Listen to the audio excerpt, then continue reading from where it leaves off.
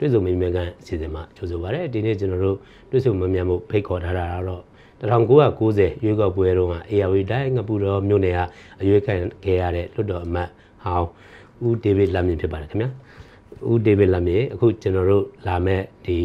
မေလ29ရက်ဆိုရင်ဗမာပြည်မှာ1990ရွေးကောက်ပွဲပေါ့နော်ပထမဆုံးရွေးကောက်ပွဲဖြစ်ခဲ့တဲ့25နှစ်မြောက်ဖြစ်လာခဲ့ပါပြီ အဲ့တော့ဒီ25နှစ်အတွင်းမှာနိုင်ငံရေးခင်းကျင်းတွေဖြစ်ခဲ့တဲ့သင်ခန်းစာတွေနဲ့လက်ရှိဗမာနိုင်ငံရေးဆက်ဆက်ပြီးဒီနေ့ကျွန်တော်တို့ဆွေးနွေးကြအောင်အဲ့တော့ဒီကျွန်တော်တို့25နှစ်အတွင်းအထူးသဖြင့်ပေါ့90တဝိုက်ကရွေးကောက်ပွဲမှာတော်တော်အမတ်တယောက်လည်းဖြစ်ခဲ့တယ်လူငယ်တယောက်လည်းဖြစ်ခဲ့တယ်အဲ့ဒီတုန်းကထင်သာမြင်သာအရေးကြီးခဲ့တဲ့လှုပ်ရှားမှုလေးကိုတစ်ချက်လောက်ကျွန်တော်တို့နောက်လူတွေကိုပြန်ပြီးတော့သုံးသပ်နိုင်အောင်သင်ခန်းစာယူနေအောင်တစ်ချက်လောက်ပြန်ပြီးပြောပြပေးပါလားခင်ဗျာအဲ့ဒါလေးနဲ့ပတ်သက်ပြီးတော့အဲကျွန်တော်တို့1990ရွေးကောက်ပွဲတုန်းက ကျွန်တော်တို့ဒီမိုစင်အင်အားစုတွေကပေါ့နော်ကျွန်တော်တို့ပြပြသားသားရွေးကောက်ပွဲကြီးမှာကျွန်တော်အနိုင်ရခဲ့ပါတယ်အဲ့ဒါကျွန်တော်တို့နှစ်ပေါင်း20ကျော်ကြာကာလအတွင်းမှာပထမဆုံးအကြိမ်လုပ်တဲ့ကျွန်တော်ဒီမိုစီရွေးကောက်ပွဲတစ်ခုဖြစ်ပါတယ်အဲ့တော့ရွေးကောက်ပွဲကြီးကျင်းပပြီးတဲ့အခါမှာကျွန်တော်တို့ပေါ့နော်ဒီကျွန်တော်တို့တက်ဆိုင်ရာတာဝန်ရှိတဲ့အစိုးရအနေနဲ့ကျွန်တော်တို့ကိုဒီပြည်သူ့လွှတ်တော်ခေါ်ယူပေးဖို့သူတို့မှတာဝန်ရှိပါတယ်ဒီလိုခေါ်ယူပေးဖို့ကိုလည်းကျွန်တော်တို့ဒီရွေးကောက်ပွဲဥပဒေတွေမှာလည်းကျွန်တော်တို့ပြဋ္ဌာန်းထားပြီးသားလည်းဖြစ်တယ်နောက်ပြီးတော့လည်းကျွန်တော်တို့ ဒီအဲ့ဒီအချိန်ကကျွန်တော်တို့ဒီဟိုတိုင်းပြည်ကိုအုပ်ချုပ်နေတဲ့နဝတအစိုးရရဲ့ဥက္ကဋ္ဌဗိုလ်ချုပ်မှုကြီးစောမောင်ကလည်းရွေးကောက်ပွဲပြီးလို့ရှိရင်အနိုင်ရတဲ့ကျွန်တော်တို့ပါတီကိုအာဏာလွှဲပေးပြီးရင်စစ်တမ်းလျားကိုပြန်မယ်ဆိုတာကလည်းသူကကျွန်တော်တို့ဂတိကဝတ်တွေပြီးခဲ့ပါတယ်ဒါပေမဲ့ရွေးကောက်ပွဲပြီးတဲ့အခါမှာကျွန်တော်တို့ဒီလွှတ်တော်ခေါ်ယူပေးခြင်းမပြုဘဲနဲ့ကျွန်တော်တို့အချိန်ကာလကိုအကြာကြီးကျွန်တော်တို့ဆွဲခဲ့ပါတယ်လွှတ်တော်ကိုယ်စားလှယ်တွေကိုဒီအနိုင်ရရှိတဲ့စီးရင်ကြီးညာတာတော့မှပဲကျွန်တော်တို့ကရက်ပေါင်း 50 60လောက်ထိကြာလောက်အထိကိုကျွန်တော်တို့တနေ့ကို10ရောင်လုံး15ရောင်လုံးနဲ့ကျွန်တော်တို့ကြီးညာနေတယ်ဒီလိုကြီးညာနေတာဟာကျွန်တော်တို့ဒါရုပ်ကောရက်လက်ကိုကျွန်တော်တို့ရှင်းရှင်းလင်းလင်းပေါ့နော်ကျွန်တော်တို့ဟိုချက်ချင်းမကြီးညာဘဲနဲ့အချိန်ကာလတစ်ခုကိုဆွဲပြီးတော့ကြီးညာနေတာဟာတစုံတစ်ခုကိုသူတို့ကြံစီနေတယ်လို့ကျွန်တော်တို့လူငယ်တွေဘိုင်းကတော့ကျွန်တော်တွေးမိပါတယ်အဲ့ဒီအချိန်မှာပဲကျွန်တော်တို့ဒီမြို့သားဒီမိုဒီဖွဲ့ချုပ်ပေါ့နော် NLD အနေနဲ့ကကျွန်တော်တို့ဒီ ရပောင်းဥသောပေါ့နော်ရပောင်း60ပြည့်တဲ့အချိန်မှာကျွန်တော်တို့ရန်ကုန်မြို့ဒီဘောအောင်ကျော်လမ်းမှာရှိတဲ့မဟာဓမ္မ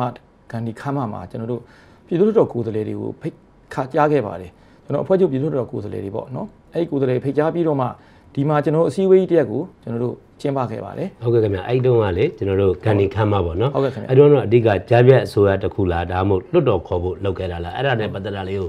ဟိုပြောပြပါအောင်ဘာလို့လက်ရှိအချိန်တွေမှာတော့ဒီ2021နောက်ပိုင်းမှာလွတ်တော်နိုင်ငံရေးပြောနေကြတယ်အဲ့မှာတည်းကတစ်ချိန်တုန်းကတော့အစိုးရလည်းတရားဝင်ရွေးကောက်ခံတဲ့လူတွေရဲ့အလုပ်ကဟိုလွတ်တော်ခေါ်ပြီးအခြေခံဥပဒေပြုဖို့ဆိုပြီးလုပ်ခဲ့တာပေါ့အဲ့ဒါလေးလည်းတစ်ချက်တော့ပြန်ရှင်းပြပါအောင်ခင်ဗျဟုတ်ကဲ့ကျွန်တော်ခန္ဒီခမ်းမခေါ်ယူချင်းပါတဲ့ကိစ္စကတော့ကျွန်တော်အဖွဲ့ချုပ်လွတ်တော်ကိုယ်စားလှယ်တွေနဲ့ဘိုးလုံးမှုဆောင်အဖွဲ့တွေနဲ့ တွေ့တဲ့အစည်းအဝေးပဲဒီဆွေးကြီးမှာကျွန်တော်တို့ကဒီ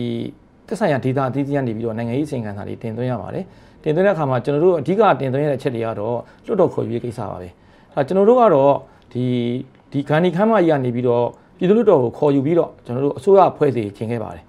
ဘာဖြစ်လို့လဲဆိုတော့ရပောင်း60ကြာခဲ့ပြီဖြစ်တဲ့တွေတကယ်ဆိုရင်ကျွန်တော်တို့ကလွတ်တော်ခေါ်ပြီးတော့အစိုးရဖွဲ့ပေးဖို့ကိုအစိုးရဒီလက်ရှိနဝတအစိုးရမှာတာဝန်ရှိပါတယ်ဒါပေမဲ့ရပောင်း60ကြာလေးထောင်အောင်အစိုးရ ဒီလွတ်တော်ခေါ်ယူမပေးခြင်းပြုတာဟာဒါကကျွန်တော်တို့ဘက်ကဒါသူတို့ဘက်ကတာဝန်တွေကိုပြက်ကွက်လာလို့ကျွန်တော်တို့ကမြင်လာတဲ့ခါမှာကျွန်တော်တို့ကကျွန်တော်တို့ပဲ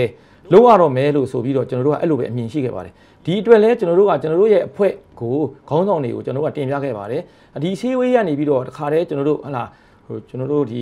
လွတ်တော်လို့တတ်မှတ်ပြီးတဲ့အခါမှာကျွန်တော်တို့အစိုးရတရက်ကိုဖွဲ့စည်းဖို့ကျွန်တော်တို့တင်ပြခဲ့ပါတယ်အဲ့ဒီအချိန်မှာကျွန်တော်တို့အဖွဲ့လူကြီးတွေကလည်းသူတို့ကဘာလို့ဆုတ်ခိုင်းထားတဲ့ခါကျတော့ကျွန်တော်တို့ဒီ တွစ်ဆုံဆွေးနွေးပေါ့နော်ဟိုကျွန်တော်တို့အမျိုးသားပြန်လည်တည်မြဲရေးနဲ့တွစ်ဆုံဆွေးရေးမူပေါ်မှာသူတို့ကအခြေခံပြီးကင်ဆွဲထားတဲ့ခါကျတော့ဟိုကျွန်တော်တို့ဒီအစိုးရဖွဲ့တဲ့အခြေအနေကိုသူတို့ကဒီကျွန်တော်တို့ဒီအထီကိုရောက်ဖို့သူတို့ကဒီသူတို့လက်မခံခဲ့ပါဘူး။ဘာဖြစ်လို့လဲဆိုတော့သူတို့ဘက်ကတော့ညီနေကတော့ဒီအစိုးရတရားအနေနဲ့ဟာလာကျွန်တော်တို့တိတ်ဆုံဆွေးနွေးပွဲပြီးတဲ့အခါမှာကျွန်တော်တို့ဒီလွတ်တော်ခါအာဏာလွှဲပြောင်းရေးကိစ္စတွေကိုအဆင့်ဆင့်သွားမယ်လို့သူတို့ကျွန်တော်ယုံကြည်ထားတယ်လို့မြင်ပါတယ်။ဟုတ်အဲ့ဒီနောက်ပိုင်းမှာ ကျွန်တော်တို့ဒီဂန္ဒီခမ်းမကနေပြီးတော့မှဟာရက်ပေါင်း60အတွင်းပေါ့နော်စက်တင်ဘာလ30ရက်နေ့နောက်ဆုံးထားပြီးလွတ်တော်ခေါ်ပေးဖို့ကိုကျွန်တော်တို့ကဂန္ဒီခမ်းမကြီးကနေပြီးတော့တက်ရောက်လာတဲ့လွတ်တော်ကိုယ်စားလှယ်အားလုံးကနေတညီညွတ်တီတောင်းဆိုခဲ့ပါတယ်ဒါပေမဲ့ကျွန်တော်တို့ရက်ပေါင်း60မပြည့်ခင်မှာပဲဒီစစ်အစိုးရကလွတ်တော်ခေါ်ယူပေးခြင်းမပြုတော့ဘဲနဲ့ဒီလွတ်တော်ကိုယ်စားလှယ်တွေကိုကျွန်တော်တို့လိုက်လံဖမ်းဆီးပါတော့တယ်လိုက်လံဖမ်းဆီးပြီးတော့ကျွန်တော်တို့ဒီ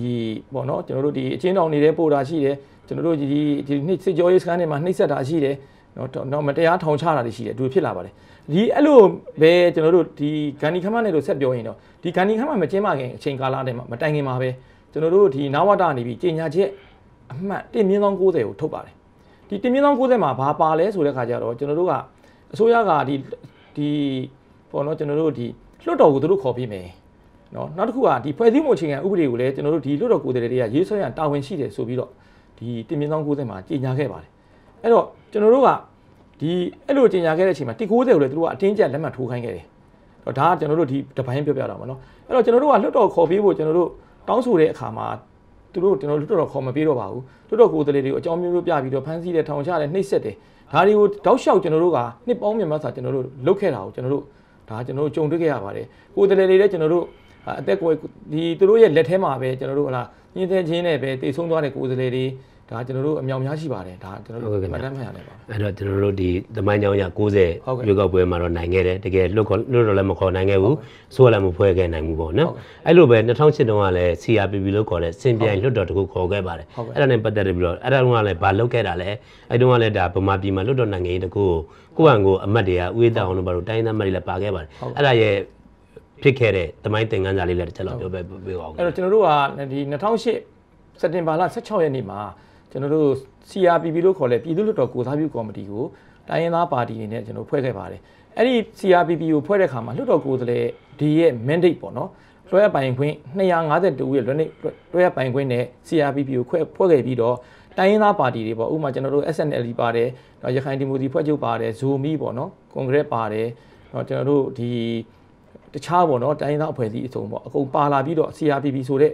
ကျွန်တော်တို့အဖွဲ့ကိုလွှတ်တော်ကိုစားပြုကော်မတီကိုဖွဲ့ခဲ့ပါတယ်လွှတ်တော်ကိုစားပြုကော်မတီကိုဖွဲ့ရတဲ့ရွေချက်ကလွှတ်တော်ခေါ်ယူပေးခြင်းမပြုတဲ့အတွက်လွှတ်တော်ကိုလွှတ်တော်ခဲသူပဲလွှတ်တော် CRPP ကနေပြီးတော့ကျွန်တော်တို့ဆောင်ရွက်မယ်ဆိုပြီးတော့ကြေညာခဲ့ပါတယ် CRPP ရဲ့ဒီကျွန်တော်တို့လုပ်ငန်းစဉ်တွေထဲမှာလည်းကျွန်တော်တို့ဒီလွှတ်တော်ခေါ်ရေးကိစ္စတို့ကျွန်တော်တို့ဒီပေါ့နော်ကျွန်တော်တို့ဒီလေသမားရေးလုံသမားရေးကျွန်တော်တို့ဒီနိုင်ငံခြားရေးပေါ့ဒီလိုဒီတိုင်းပြည်ရဲ့ဒီချုပ်ချာအာဏာနဲ့ပတ်သက်တဲ့လုပ်ငန်းစဉ်တွေအားလုံးကိုကျွန်တော်တို့ ဒီထဲမှာအားလုံးပါဝင်ပါတယ်ခင်ဗျဟုတ်ကဲ့အဲ့တော့နိုင်ငံရေးမှာတော့အတိုက်ခံလုပ်တာလွတ်တော်ဖွဲ့ဖို့ကြိုးစားခဲ့တယ်အစိုးရဖွဲ့ဖို့ကြိုးစားခဲ့တယ်ဒါတော့နိုင်ငံရေးကအမြင့်ဆုံးပေါ့နော်အဲ့ဒါတွေပြီးတော့2010ရွေးကောက်ပွဲဖြစ်ခဲ့တယ်2012ဖြစ်ခဲ့တယ်အခု25နှစ်ကြာလာတဲ့အခါမှာရောဒီကျွန်တော်တို့90တုန်းကအရွေးခံတဲ့အမတ်တွေကလောလောဆယ်စုပေါင်းပြီးတစ်ခုလုပ်ဖို့လုပ်ဖို့နေကြပါတယ်ကိုဒေးဗစ်လာမစ်ကိုလည်းဒီဖြစ်မြောက်ရေးကော်မတီမှာလို့ပါပါတယ်အခုလက်ရှိဘာကိုရွယ်ကြီးဘာကိုလုပ်ဖို့စီစဉ်နေလဲဆိုတာဒီချက်လောက်ရှင်းပြပါအောင်ခင်ဗျာ အဲကျွန်တော်တို့ဒီ25နှစ်မြောက်ငွေရူခန္ဓာကျင်းပခြင်းရည်ရွယ်ချက်ကတော့ကျွန်တော်တို့လွှတ်တော်ကိုယ်စားလှယ်တွေအားလုံးပြန်တဲ့စုံတွေ့ပြီးတော့ဒီမြန်မာနိုင်ငံရေးအခင်းချင်းမှာကျွန်တော်တို့ပါဝင်ဆောင်ရွက်သွားဖို့ပါပဲအဲဒီလိုပါဝင်ဆောင်ရွက်သွားတဲ့နေရာမှာကျွန်တော်25နှစ်ကာလဖြတ်တန်းခဲ့တဲ့အချိန်ကာလရဲ့နော်အခြေအနေအရရက်ကိုပြန်လည်သုံးသပ်ပြီးတော့မှ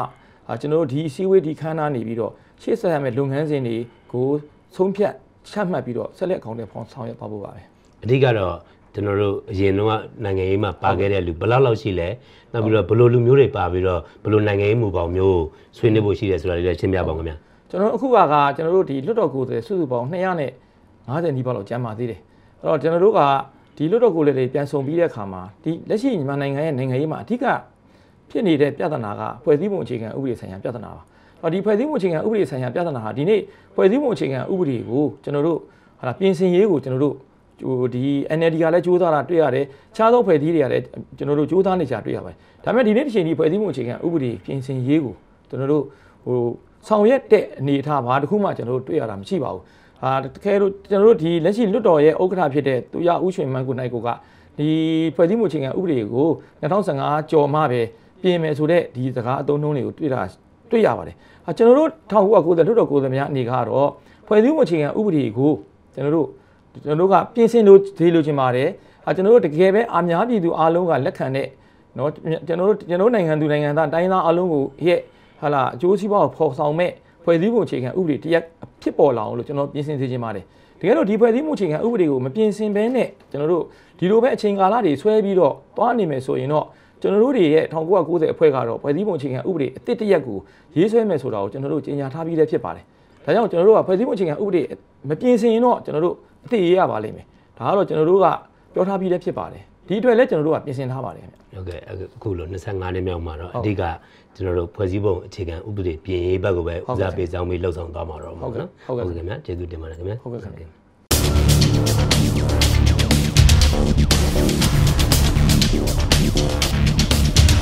ာ